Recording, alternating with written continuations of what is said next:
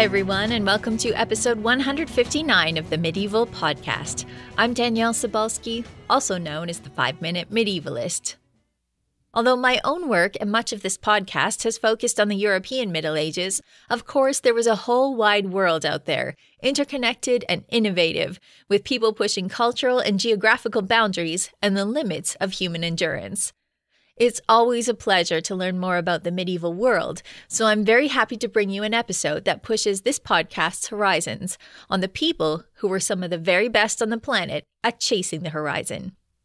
This week, I spoke with Dr. James Flexner about Oceania in the Middle Ages.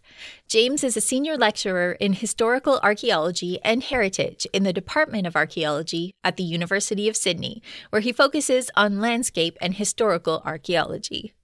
He's the co editor of two books, including Community Led Research Walking New Pathways Together and he's the author of An Archaeology of Early Christianity in Vanuatu Custom and Religious Change on Tanna and Erromango, 1839 to 1920.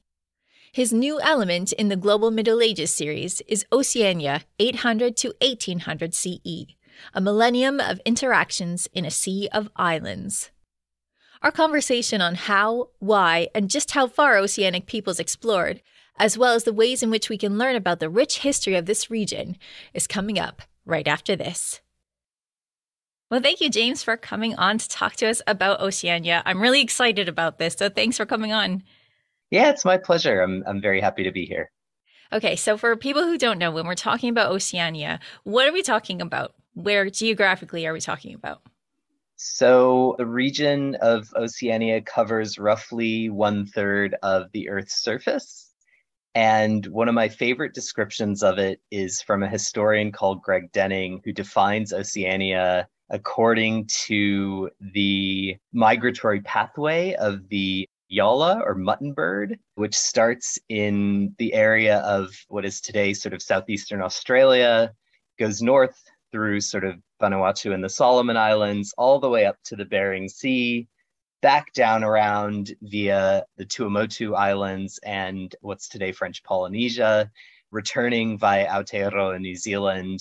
It's a migratory journey that covers about 25,000 kilometers, which is an annual migration that these birds do. And the region of islands and sea inside of that migratory circle covers approximately what most scholars refer to when they talk about Oceania. It's huge. It's huge. I mean, a couple years ago, I was writing just like a short history of medieval Europe, and that continent felt huge. So, like, this is massive geographical space. Yeah. So, for comparison, one of the groups of islands where I work, which is the Mangareva Islands in, in French Polynesia, the distance between Tahiti, which is where the capital of French Polynesia is located in Mangareva, is similar to the distance between Paris and Sofia in Bulgaria. And that's a tiny sliver of the vastness of Oceania. And that should give people who are more familiar with European geography kind of a sense of the area we're talking about. it's massive. And when you think about exploring over that distance, it's just mind boggling. So I'm, I'm very excited to be talking about this today. So, your element for this Cambridge series that you've done, it covers 800 to 1800. So, why did you pick this space of dates? part of it had to do with fitting into that idea of you know the time frame of the middle ages that's used in other parts of the world but also kind of stretching it a little bit so i spoke to geraldine heng and susan noakes who are the series editors about this and and they were talking about the idea that a lot of medievalists will cut the european middle ages off at 1492 around the time of the reconquista in spain and and columbus sailing across the atlantic it doesn't make sense to cut things off in that space in Oceania because of a variety of kind of historical reasons. And I guess as an example, if you look at somewhere like Hawaii, the Hawaiian Islands, their first encounters with Europeans don't occur until Cook in 1778, 1779 CE. And so that period over the course of the 1500s, 1600s, 1700s is actually a really important period in Hawaiian history, particularly in terms of the emergence of these kind of competing polities that have been kind of compared to small feudal kingdoms. And so if you cut things off at 1500, you lose a lot of the sort of dynamism that occurs in that kind of Polynesian historical space.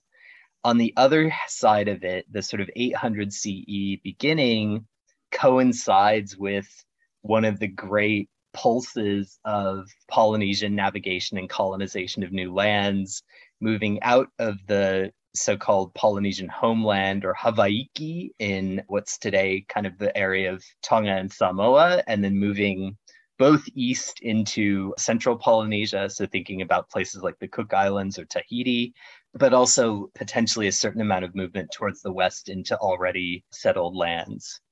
I think that makes a lot of sense. And one of the things that I liked about your I'm going to call it an element instead of a book, but we know it's a kind of a short book, one of the things that you mentioned is when people were starting to come up with eras and they're talking about Bronze Age, Iron Age, they tend to put people in Oceania kind of back, like they're in prehistory mm. type stuff. And that's a function of choosing this technology as a way of deciding who's who on the scale. Whereas if you look at navigation and seafaring technology, it's totally different, right?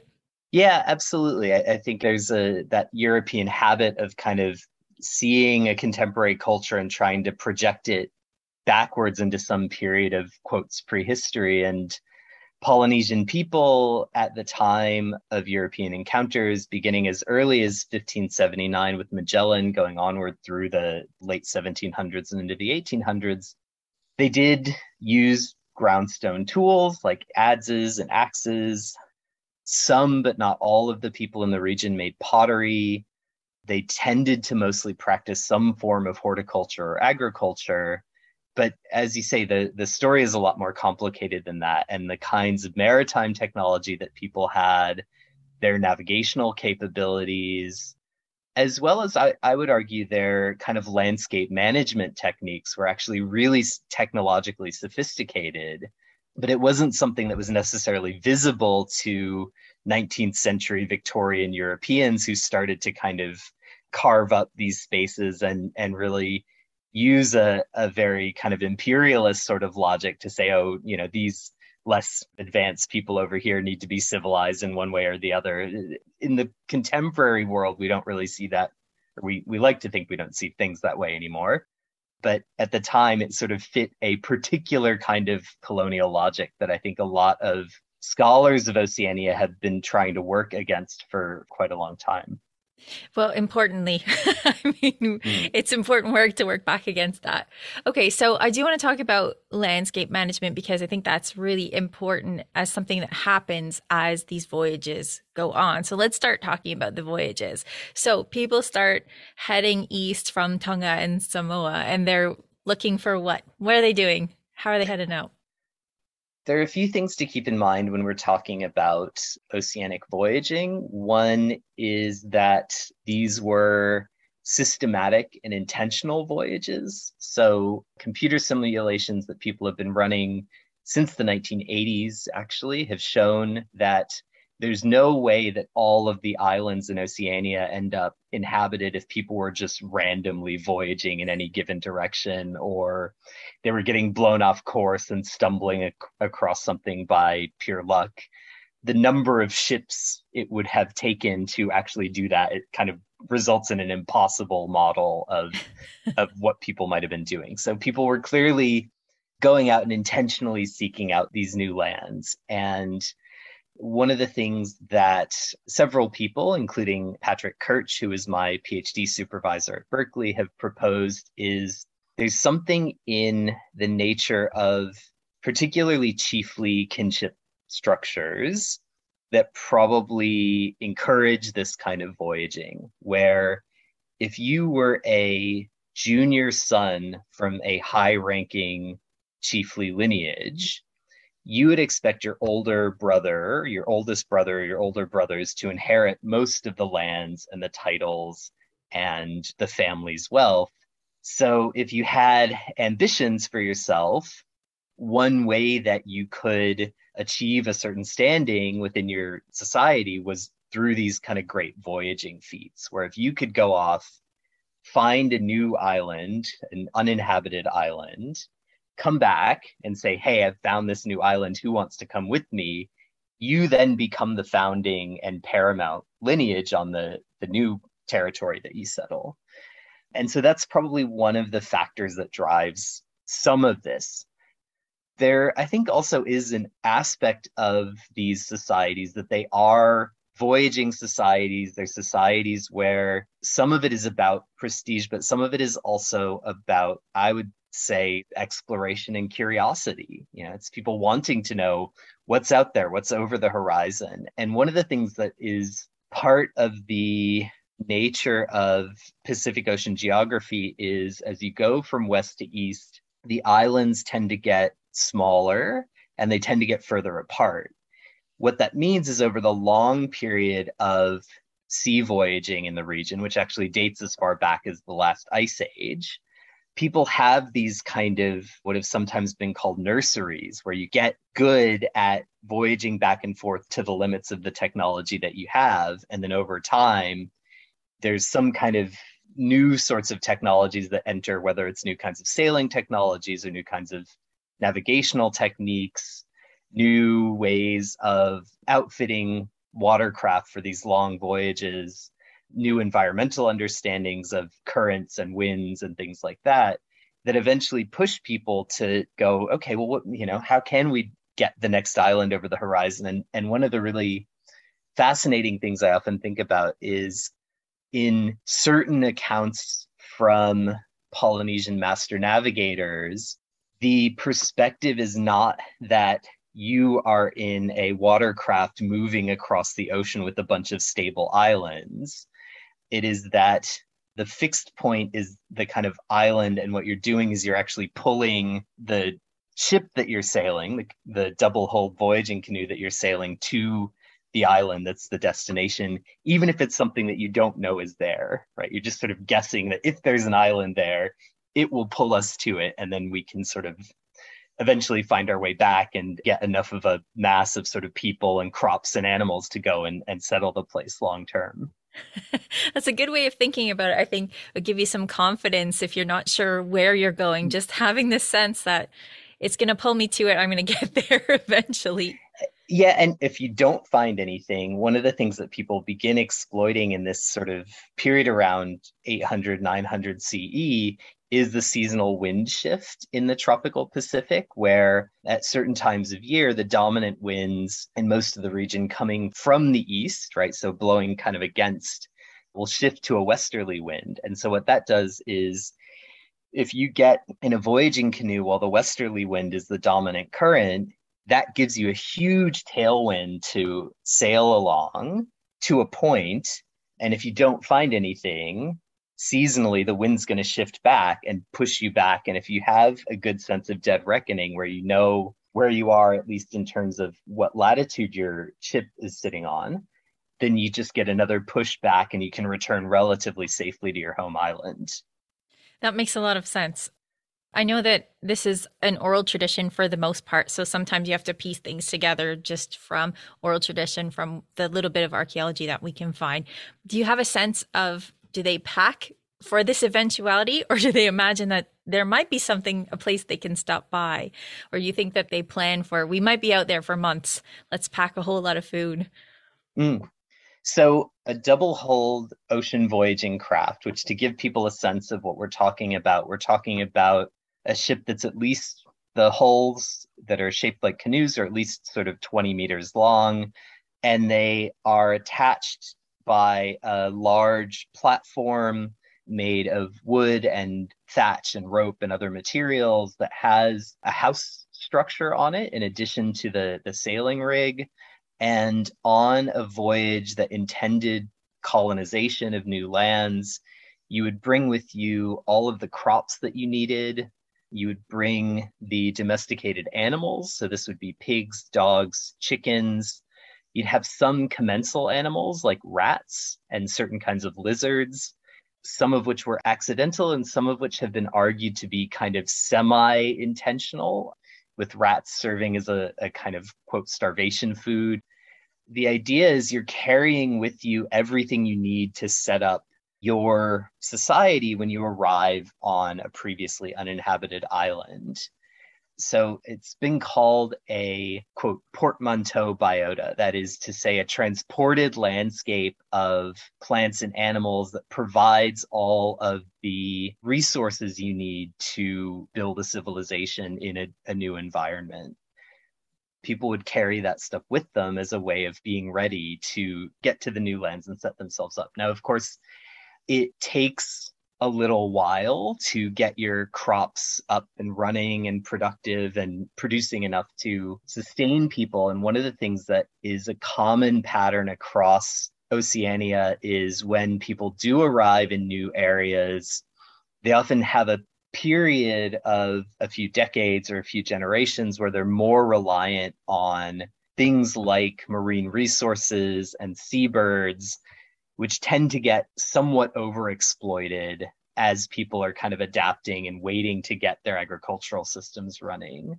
which can have sometimes unintended knock on effects, where, for example, overexploitation of seabirds results in a reduction in soil fertility because the kind of input of nutrients like phosphorus, which is in bird poop for lack of a better term um, that if you if you take out too many of the seabirds from that environment you take out some of that nutrient input and that can cause problems down the line. And and so part of the story of polynesian colonization is really about environmental learning and people adapting to slightly different environments because even though we're talking about mostly an area of tropical islands they're all going to be a little bit different in terms of everything from the age of the soils to the amount of rainfall they get to how much of a rain shadow effect the mountains have. And these factors are all things that people have to kind of adapt to using this common suite of crops and other environmental management techniques that they're using to, to try to figure out how to live in different parts of the world. Yeah, I think that's so fascinating where they're like, okay, we're going to pick this kit. we're going to pack the kit. It's going to have all the things we need in it. We're going to go there. We're going to set things up like we've done a million times before. And it's just, it's so human optimistic. I love this idea, like setting yourself the challenge that you're going to try and set up a new colony on a new, entirely new, undiscovered island. so, what were some of the crops that were the staple crops that they pretty much always packed in their kit when they brought things to a new island? The main staples in the oceanic diet in terms of plant foods are tubers, specifically taro, which is probably originally domesticated in Southeast Asia, yams, which were originally domesticated, at least the oceanic suite of yams. Yams a bit complicated because it gets domesticated separately in a bunch of different places, but there is definite evidence that by about 5,000 years ago, there's an independent domestication of yams in the highlands of New Guinea. And then these are complemented by a variety of fruit and vegetable crops that include things like sugarcane, breadfruit, bananas of various descriptions, which is another New Guinea domesticate originally, and then all kinds of different greens and fruits and things like that. Those were the main things that people were carrying with them. Eventually, they add to this kumala or sweet potato, which is picked up on the west coast of South America, which is another fascinating part of the story. We know that at some point, we don't know exactly when, but sometime between 1000 and certainly no later than about 1400 CE, people reach the west coast of South America, Polynesian navigators pick up this sweet potato and go, mm, this is a useful crop. Unlike the more tropically adapted yams and taro and subtropical, sweet potato is actually a frost adapted crop because it was originally domesticated in the Andes Mountains in South America. And sweet potato very quickly swings back the other way through Oceania and becomes really critical to New Zealand or Aotearoa Maori agriculture because New Zealand is so much further south than the rest of the islands in Polynesia. A lot of the crops really only grow in the northern part of the North Island. So as people move further south, they're figuring out how to live in these landscapes that freeze, which is a killer for taro or yams. Sweet potato actually can survive there. And so that becomes the main starchy staple, which is another part of that story of not only adaptation but exchange and contacts with different cultures. And you know you can imagine voyaging people whose entire world is kind of 99.9% ocean. And suddenly they reach this west coast of south america and there's these ginormous mountains and this sort of coast runs as far as you can go north or south. And they probably just thought well this is interesting but it's not really for us. And turned around and came back yeah, that's right. There's nothing to discover on our boats around here, so let's head back. But there's some speculation that perhaps they brought chickens to, to South America, right? Yes, there is to my mind, and I, I will say I'm not a, a, geneticist by training, but my colleague Alice Storey's research looking at the genetics of chicken introduction and kind of the timing of that in South America, it seems reasonably convincing that there was a pre Spanish introduction of chicken from Polynesians to South American people. And, and it makes sense in a way, right? There's a sort of nice reciprocal exchange story there. Of, yeah. You know, you have something we want, we have something you want. This is something we can both agree is a, a, a useful thing for both of us. So, yeah. yeah. I'd like to find out more about that as that develops. I think it's a story that is interesting and be nice to find out more about it as as we learn more. But that brings me to trade. So once people have found these islands, they've built a colony, they're going to stay there for a bit. There's trade back and forth between nations and islands and stuff, right? So what are people trading at this time? Oceanic trade networks are basically as complex as one can imagine them to be. The most famous one, arguably from the region, which has been kind of well documented since the really the beginnings of 20th century modern anthropology is the Kula Ring from the Trobriand Islands and the surrounding islands in Papua New Guinea.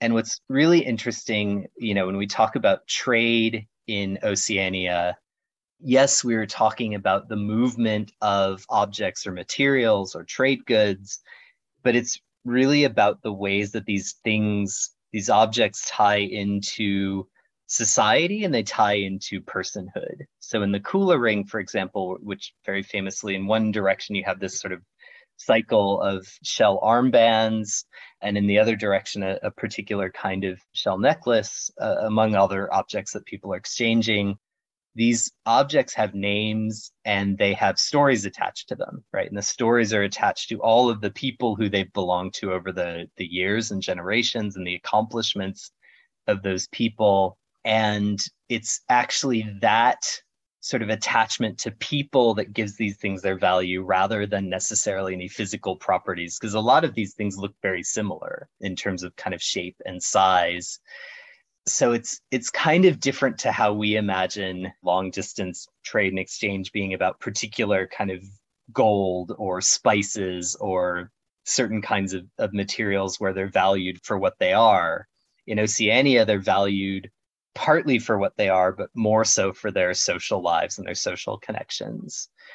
And the range of long distance material exchanges varied immensely across the region and covered everything from utilitarian things like woven mats or stone adzes, all the way to really kind of monumental exchanges of objects like the rai or stone money from Micronesia. And Scott Fitzpatrick's research has documented the ways that people were sailing hundreds of kilometers between Yap and Palau to extract these giant discs of stone from particular cave sites and then sail and these things are they can be many many meters high. They can weigh hundreds of tons. And and so these are very heavy massive objects that people are carrying around on their sailing canoes. But even in that case it's about the stories and it's about the places that the objects are attached to. And actually their value comes from the knowledge that the people who who sailed to collect these things needed to have in order both to reach the islands where they were going but also to know where the appropriate places to extract this material to bring back as a way of building wealth and building prestige in their societies. That's a really interesting point about these objects having a social significance because doesn't that imply that people on one island must know some stories that would make an object significant from the other culture that they're getting from the other culture, right? So, does this mean that there is quite a lot of circulation of stories and social news from other islands that would make that important to them? There can be. Again, it's really hard to tell a one size fits all story for Oceania because the region is so variable. As an example, in the Hawaiian Chronicles or Mo'olelo, there are these stories early on of regular voyages between Tahiti and Hawaii. So you have people like Pa'ao or Mo'ikeha who are named navigators who do these kind of epic voyages back and forth. And there's all kinds of drama and politics and, you know, Game of Thrones type stuff happening in these stories. That's really fascinating. But what's wild about the kind of Hawaiian story is sometime around 1400 CE, those voyages stop. And the Hawaiian Islands then develop independently in isolation from the rest of Polynesia over a period of, of nearly 400 years until suddenly Cook shows up over the horizon and, and they're drawn back into the outside world.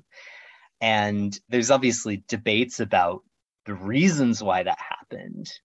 But the fact that it did happen shows that some of these places at various points in their histories for political, social, or religious reasons stopped doing those kinds of voyaging and navigation. In the Western Pacific, it's almost the opposite. If anything, during the last 500 to 1000 years, the story of those islands is an intensification of these networks and of voyaging and of exchanges back and forth and of a kind of proliferation of different kinds of trade goods, whether it's things like pottery or particular forms of pendants in shell or stone, which are obviously things that we can potentially document archaeologically, or things that we know ethnographically were exchanged, like feather money or particular forms of mats or baskets that were valued in, in certain ways that we can sort of assume people have been doing for at least a couple of hundred years, if not maybe a thousand years or more. And so it, it does, it really depends, but there's there is no part of island life that doesn't involve a certain amount of exchange. So even going back to Hawaii, my colleagues Peter Mills and the people who he works with have documented these adze exchanges and exchanges of volcanic glass materials going back and forth within the Hawaiian Islands. So even there, there is this story of, of maritime trade and exchange and networking. And obviously, it's never just objects, right? It's also information and it's stories and it's gossip and it's all the other things that you know are just part of human social life yeah exactly people stories which brings me to the challenge which is as a historian, how do you find out these stories? So, do you find yourself talking to elders to find this stuff out, or are you looking at stuff that was written down kind of closer to our time? Where do you find the stories? Anywhere I can is the answer. so, I would probably identify more as a, a historical archaeologist than a historian. And my job, as I see it, is to use every potential source of information possible to understand the places where I'm working and the people who used to live there.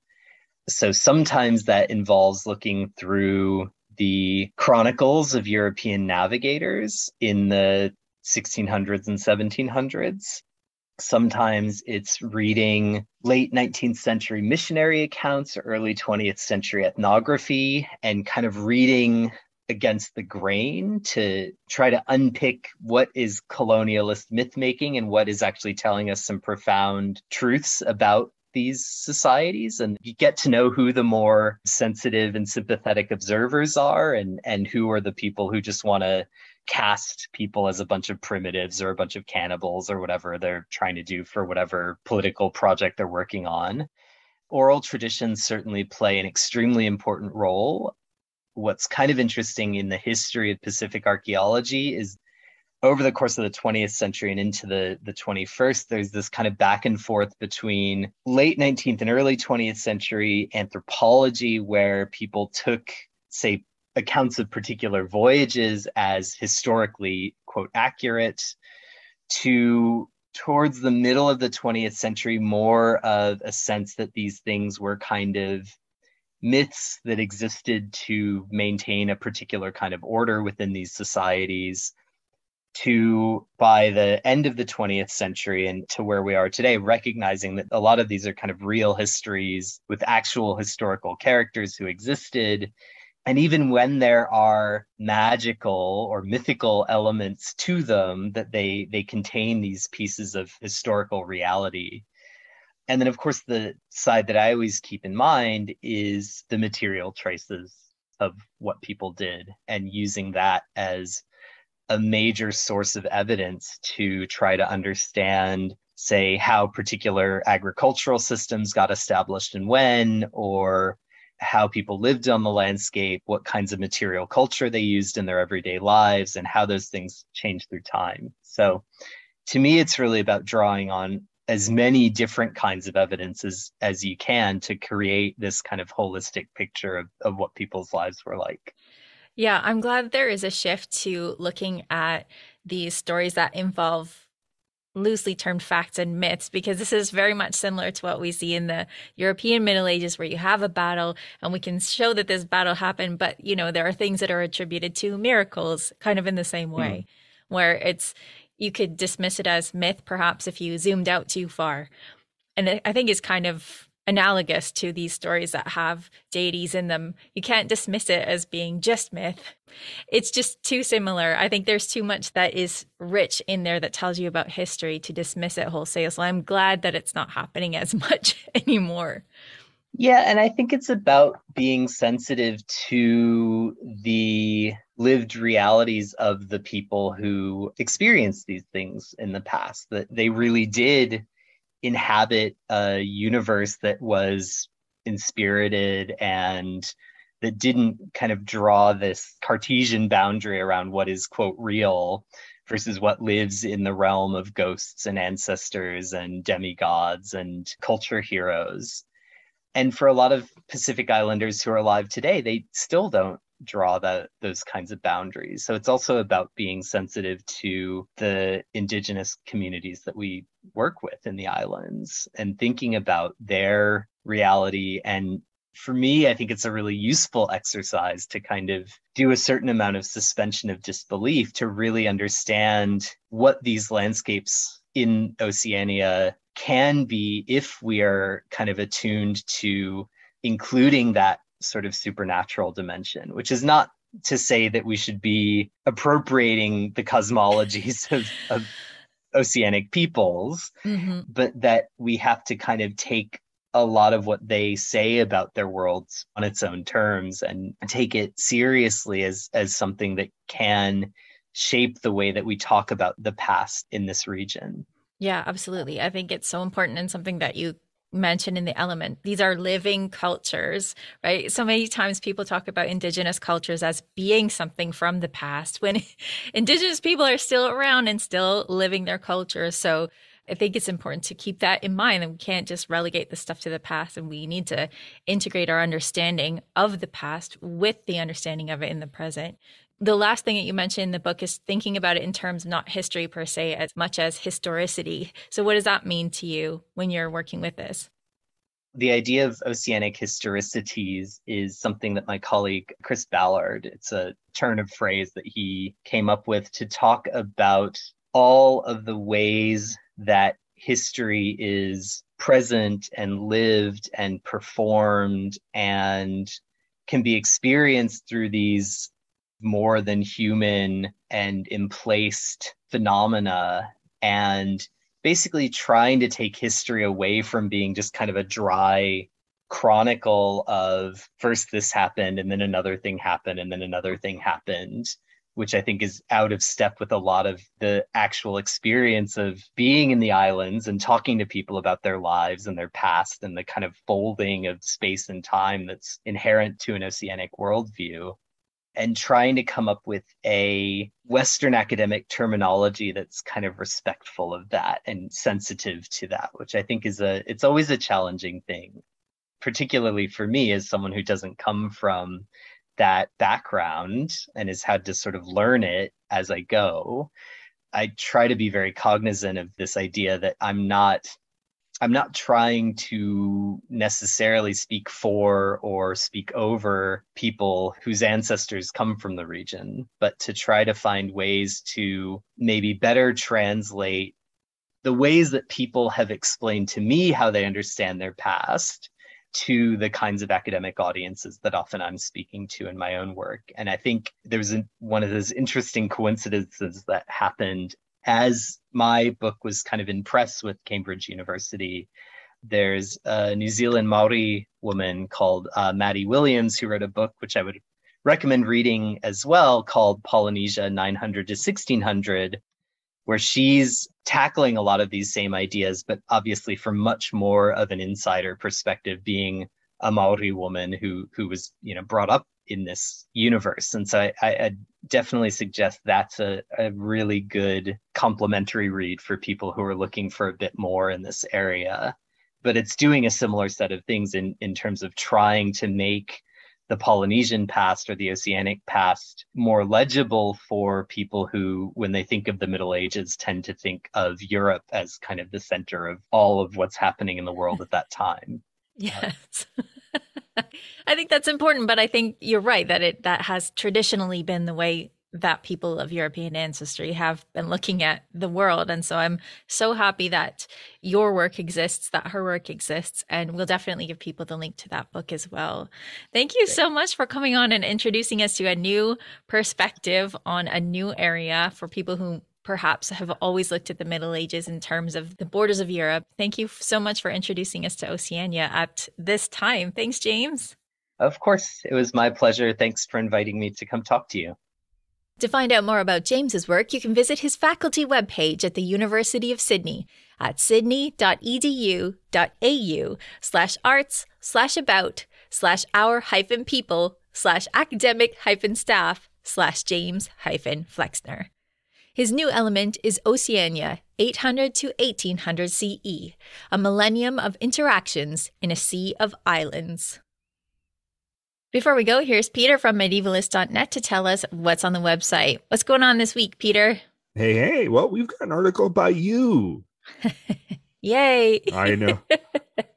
Hopefully, our readers are not getting too tired of you, but uh, the, wow, thanks. The Combat of the 30, this famous mini battle that happens in the 14th century. Yeah, it's a cool story. Yeah, so we've got that. We've got Ken Mondschein talking about the 1988 film Willow. I loved that movie back me, in the day. me too. Me too. Um, it's slightly medieval, right? It's well, it's fantasy. There you go. Yeah, yeah.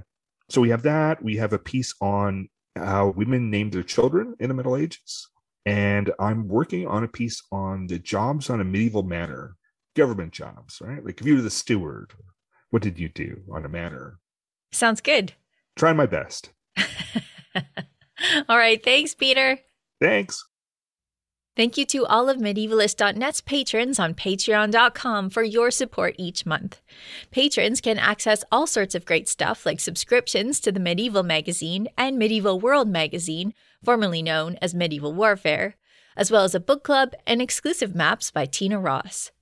Your patronage directly funds this podcast as well as medievalist.net's other work, so thank you. To get in on all the action, please visit patreon.com slash medievalists. For everything from oceans to potions, follow medievalist.net on Facebook or Twitter at medievalists. You can find me, Danièle Cybulskie, all over social media at 5MIN Medievalist or 5 Minute Medievalist. And you can find my books at all your favorite bookstores, where you can get hold of How to Live Like a Monk, Medieval Wisdom for Modern Life in hardcover, ebook, and audiobook. Our music is Beyond the Warriors by Guifrog. Thanks for listening and have yourself an amazing day.